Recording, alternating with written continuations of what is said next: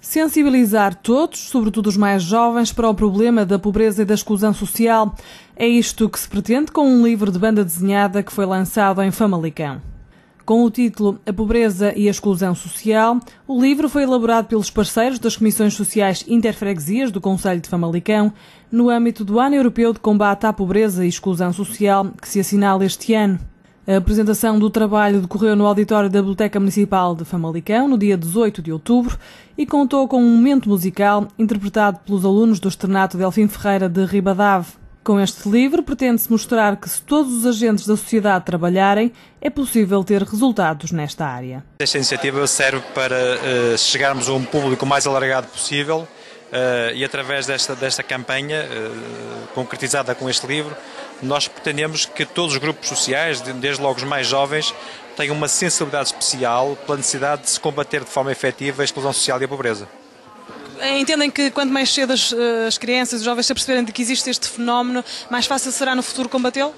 Olha, eu acho que nós, sem dramatismo, sem alarmismo exagerado, é importante que, que as pessoas se convençam que de facto eh, existem dificuldades.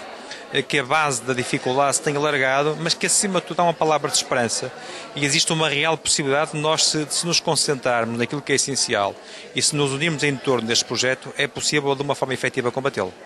Como disse aqui, entendo que neste momento é cada vez mais fulcral essa responsabilidade social que todos devemos assumir. É absolutamente fundamental que todos os agentes, não são só as câmaras, as juntas de freguesia, não são só as associações, as IPSS, as associações esportivas, culturais, são todos os agentes.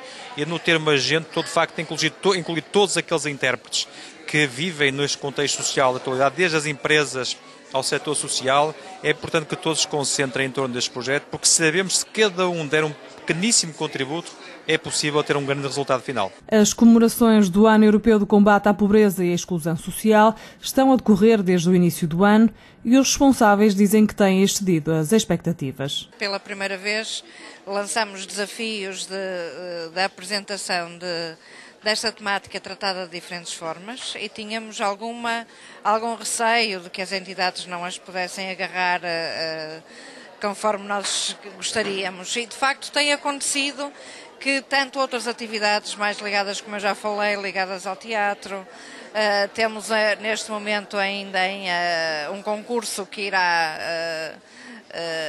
estará já em fase de começarmos a, a selecionar as, as produções no âmbito da fotografia, da escultura, do teatro, da dança. E de facto tem, tem sido uma grande adesão e o que tem proporcionado um debate e uma discussão dos, eh, do tema da pobreza e da exclusão de uma maneira completamente diferente daquela mais académica eh, e que acaba por não surtir tanto efeito quanto esta que vai acabar por juntar a criatividade, muito dos talentos que as pessoas têm e a discutir uma, uma questão que é extremamente importante para todos. Também a nível distrital, aquilo que estava previsto no plano das comemorações foi executado, sublinhando-se os dois fóruns intermunicipais realizados e os planos conselhos elaborados com o apoio das comissões interfreguesias. Mesmo assim, é difícil avaliar o sucesso destas ações. Se a gente se focar na perspectiva da execução do plano, eh, o objetivo está eh, mais cumprido, mas, ou está mais ou menos cumprido, mas o, o objetivo não é esse, não é, não é a execução do, do, do plano. O objetivo seria sensibilizar as populações para esta eh, problemática. Nessa medida, eh, é mais difícil de avaliar o sucesso porque eh, seria necessário monitorar a recepção das mensagens que têm sido emitidas junto da população, mas infelizmente o contexto eh, atual é mais que propício para, para a, recepção de mensagens sensibilizadoras relativamente à questão da pobreza.